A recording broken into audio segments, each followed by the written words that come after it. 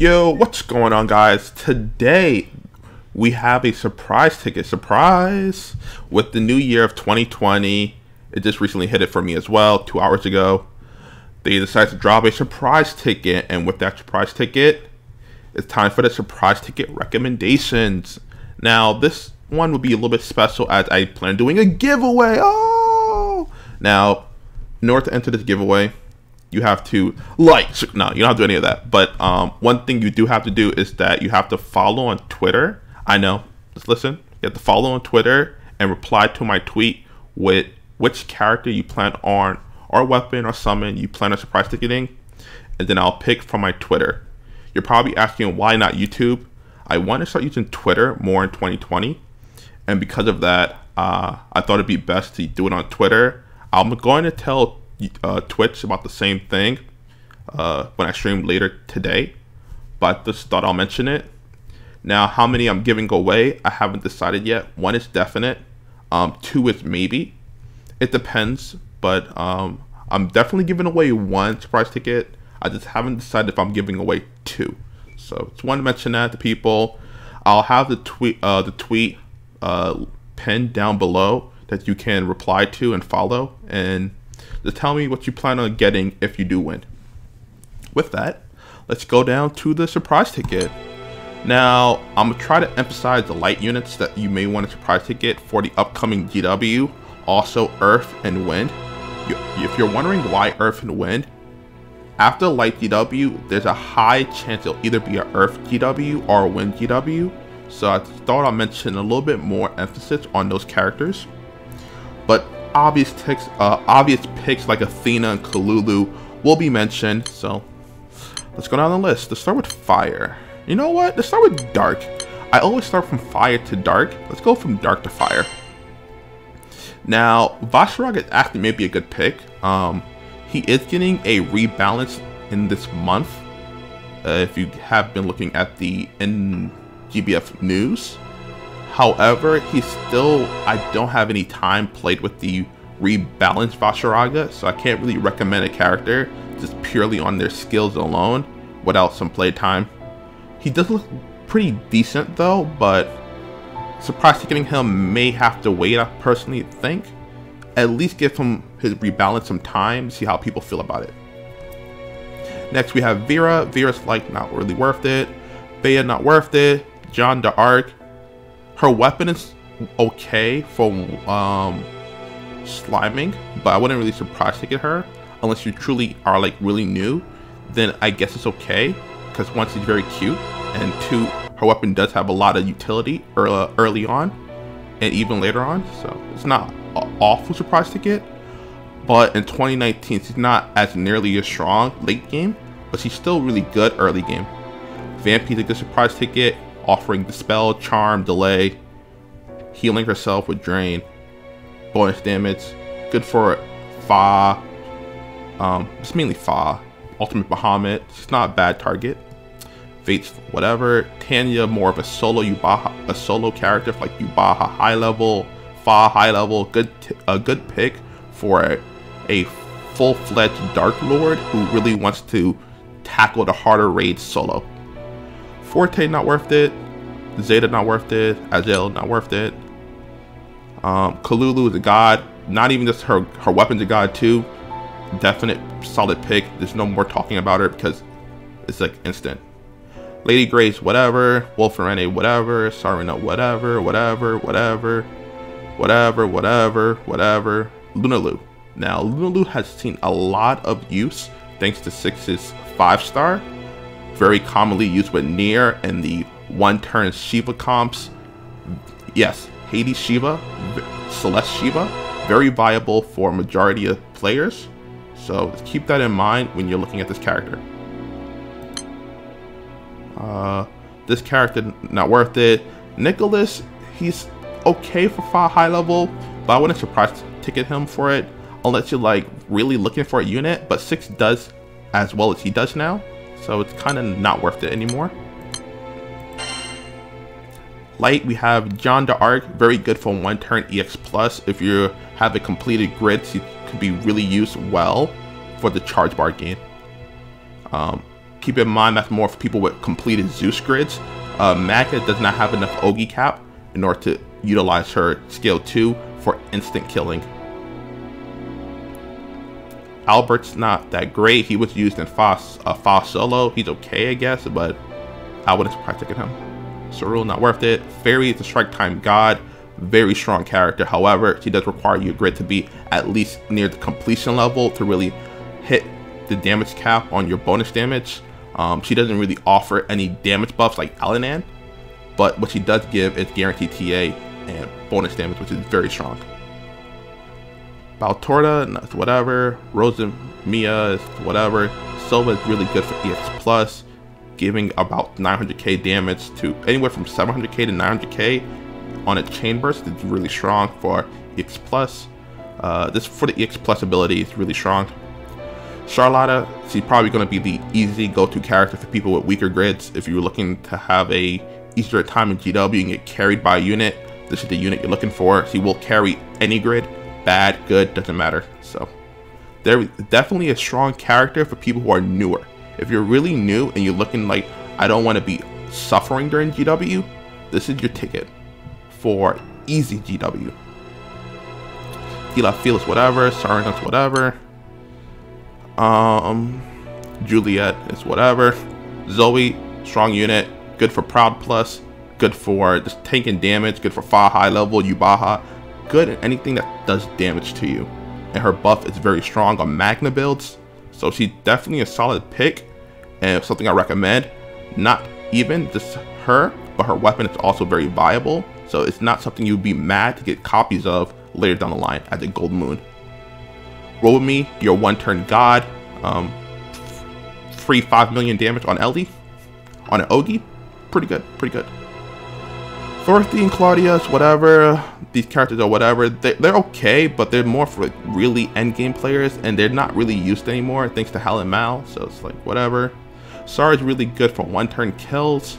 If you're having a hard time one-turning things, she can be a ticket for an extra like, I think 1.4 mil, if not higher, from her Ogi damage and her counter. Very, very good for EX+. Plus. Will she be good in Nightmare in the higher difficulties of Nightmare, 100 and 150? Yet to be seen, but I do have faith that she can perform rather decently. Sophie is not worth it, Clarice is not worth it, and this character is not worth it.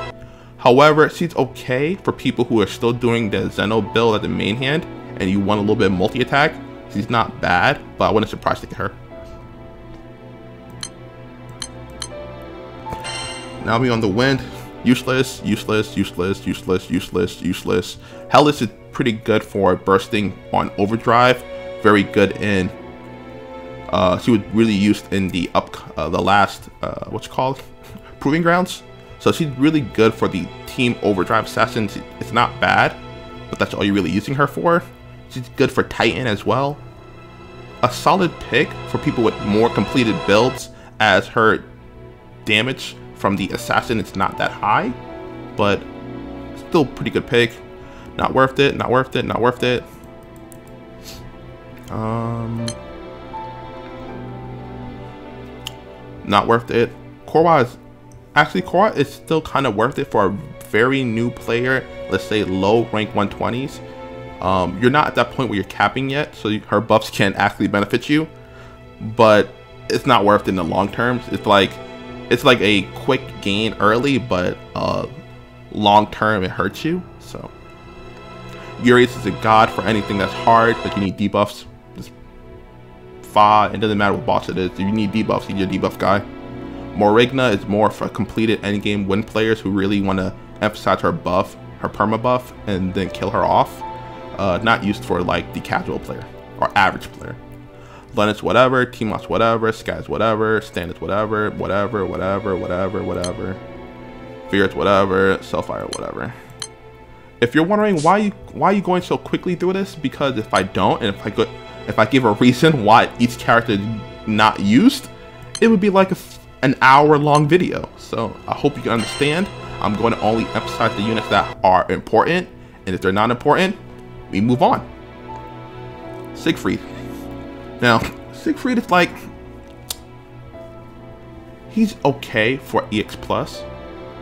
Um, he lost a lot of his power thanks to power creep, but he's still okay for EX Plus. Outside of that, though, he's not that important anymore.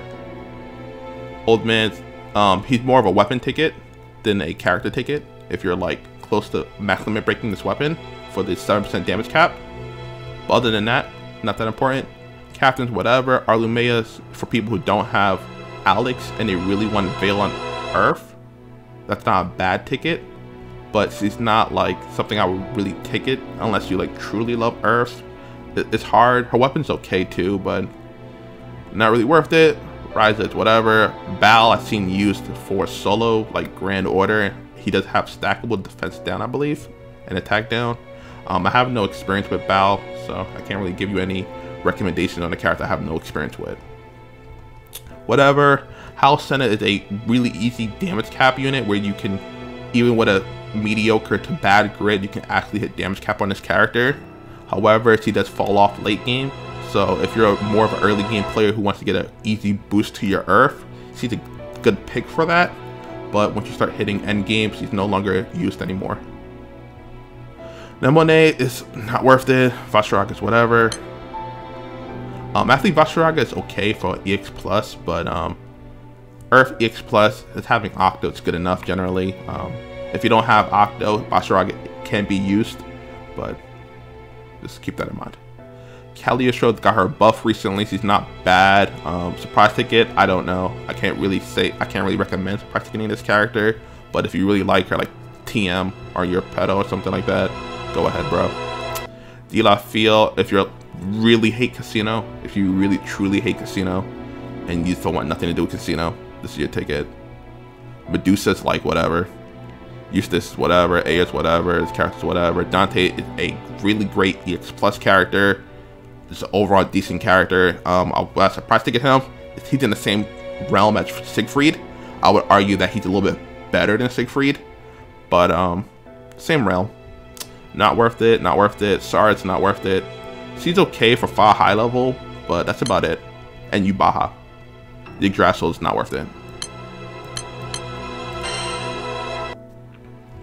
Next, we're on to water. Altair. Still a solid water pick, but it's water, so best you could get. he's not awful, but he's definitely fallen off in, a, what, two years since his limit break. So he's okay, mainly for the charge bar gain, but his buffs aren't nearly as overpowering as they once was.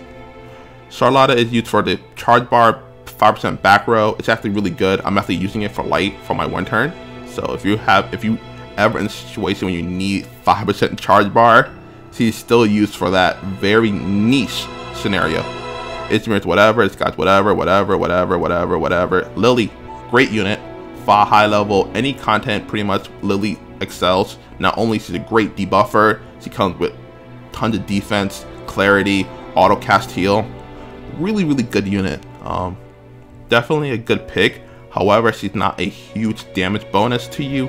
She does give you water attack up on her Ogi, but that's about it. You're not gonna be like, oh man, I I take it Lily, I'm gonna do twice as much damage. No. Mackey's whatever, Silver's whatever, whatever, whatever, whatever, whatever, whatever, what Yoda's okay, but um I wanna surprise to get him.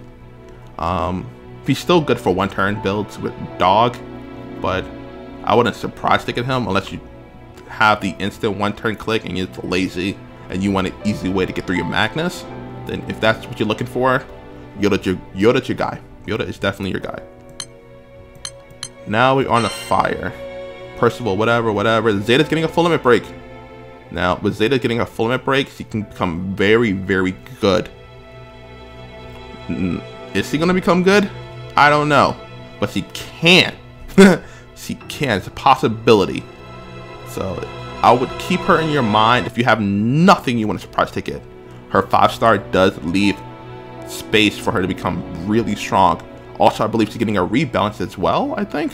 So, or maybe that's the light Zeta, but um, she's getting a five star. So keep that in mind if you're thinking about the future. Lancelot and Vayne still pretty good for one turn kills, not bad at all. EX plus mainly. Athena's great for any hard content. You take damage, team up Malice, Fa high level, that's packing a ton of protection, armor, damage reduction, um, not damage reduction, damage, Ellie switch. Um, good unit, not bad. Yuel's very niche, can be used for people without Alanaan, um, but very niche unit. It's seems more used for people who are really endgame, but they just haven't had the time to make Alanaan. Tabina is whatever. Tsubasa Tsubasa is used for one turn EX plus. Um, he's like he's usable. He's not bad, but you don't really need him. So it's really up to you if you if you want to make him. It depends. Magna fire probably needs him. Agni, not so much. Unless you're doing like the uh, prom grid, then it's something different. Maga says whatever, whatever, whatever, whatever, whatever, whatever, whatever, whatever. Um, this unit's okay, but he's more super endgame fire. So it's like, I don't recommend that to 90% of players. Clarus, whatever. Same thing with this character. Um, she's good, but she's really niche. Colossus used for his weapon, and also a very good character for Bonito for one turn EX plus. Probably would be optimal when they add 1 million more health maybe, but uh, not bad at all. The same thing applies to Siegfried, also having a really high nuke on his Ogi. So these two characters right next to each other makes perfect sense as they both are EX plus units. Now we on the weapons. Durando worthless, worthless, worthless. Taming sorry. Now this is for your really endgame light players who don't feel Cosmos weapons enough cap up for them and they really want to take that extra step and just go above and beyond. With the introduction of Noah's weapon, it's actually not a bad pick. Noah's weapon being a very good dagger, you can get some really weird shenanigans with daggers now on light. So this is for like the truly optimized light. I have 12 to 20 something bars in light and I love this element, like Tokai levels of light. I love light, only light, nothing else matters. So that's what this weapon's for. Gisela, solid pick for Highlander builds for Dark. Easy access, but very character gated. Do you have Zoe, Nier, Six, Kal Kolulu, um, BK, mainly Zoe, Nier, Zoe and Nier are the most important ones. Um, but do you have these characters? Do you have other weapons invested in Dark, like BK's weapon, Kolulu weapon? This is the easy pick for people who want to opt in and go into the Highlander build for Dark. Very popular build, very accessible. Not bad build at all. This weapon, I want to solo file high level with like some really mean like Garuda bow grid. Other than that, it's not worth it. Um, not worth it, not worth it, not worth it. This one is like, I'm an Earth Lord. this is the I'm an Earth Lord weapon. I want a ton of health. Like if you want a solo file high level, that's what you need. The staff, I'm a Water Lord. That's it. like I'm really invested into water, like really deep, and I believe in this weapon. Not worth it, not worth it, not worth it. Fingers. I, I hate Prometheus. that's that's what fingers are in 2020. Um, I just hate farming Prometheus at this point. So if you hate farming Prometheus and you want to still want to get that Amity grid, fingers still an option, but uh. This weapon's whatever, whatever, whatever. Um, th this weapon's for crit, earth, but kind of like eh. And then we have these two weapons are eh. And now we go on the summons. Eh, eh. I want to solo Fa high level really bad, I guess, for Vortex Dragon. Eh, eh, eh, eh, eh, eh. I need a Phalanx. I need 100% damage cut and Fa high level for Athena. Apollo's eh. Odin's garbage. Oceanus garbage. Oceanus is I want to solo Fa high level with the meme with some big brain revive strat. Um, Cybellus whatever, Nez whatever, Godlike. Um, this is a really good summon. And it's just about everywhere. It's not good in burst comps, but if you want to live, this is your summon.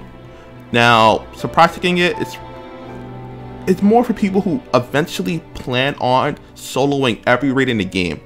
If that's what your plan is in the future, this is your if you want to get the head start, start taking in these if you have most of the characters you like. Medusa's whatever, whatever, whatever, whatever. Whatever. Bunkles, I'm gonna just talk about all six of them. I am preparing for six dragons and I want a bunkle. It's pretty much what the bunkles are for. Um, they're only really good on Ellie and if you take a ton of damage.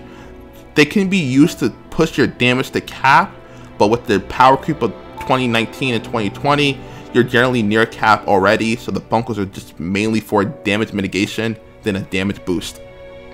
Bonito, great. I'm lazy. I want to use water for everything, Magnas, and just chill. Still good pick. Worthless, worthless. Um, please don't give me anything about Tezcat. I don't care. Uh, worthless. Typhon, great summon. Good for fog. Good for Ultimate Bahamut. Good for bursting. Uh, good summon overall. Solid pick. If you don't have a full limit break Typhon, you may want to invest into that. The same thing applies to Thor. Good for your uh, mainly Bahamut high level host. Good for uh, Yhwach high level. Uh, not good in Fa though, but just mainly Bahamut high level and Yhwach high level. Nice, Aphrodite, I did a video on this but this is really end game ultra optimal light. Very niche. You need a really stacked grid for it. So not for the average player, but it's usable. No, no, no, no. This potential, but I want to surprise ticket it now. No, good summon. Definitely worth a surprise ticket. Usable at zero star. Gorilla, the same thing applies. Um, both of these summons are usable at zero star. However, Gorilla requires you to have a friend full limit break. So keep that in mind. If you plan on using this at zero star, you do need a friend full limit break. This summon, um, Hamsa, it's a good duck. Solid dispel. If you need a dispel summon you don't have Zeph, definitely a good pick for you. Whatever, whatever, whatever, whatever, whatever, whatever. Demon Bream, not worth it. Don't do it. These summons, now, honestly, these summons are very, very niche right now. The Crest summons, uh, the one that probably has the most important value right now is Princess Long Ji with Cagliostro. Um, Dogu is also viable with Magasa, but they are very, very niche. Very niche. So keep that in mind. Uh, keep that in mind when you're looking to surprise ticket these. Right now, they're not ultra viable. They're very niche. However, that can change in the future. Oh my god. 23 minutes of non-stop talking. I got us. Oh, I was dying. Woo, free. Yeah. With that though, we're going to call this a video. Now, if you have any questions, leave them in the comments. As for the um, giveaway, don't forget, it'll be in the, the, the uh, comments pinned. Click that link, follow, and just leave a comment on what you are going to surprise ticket if you win. With that, thanks for watching, and um, hopefully you guys are able to pick something you're happy with, or pick nothing at all. Or you can win the giveaway, who knows. Until then though, bye.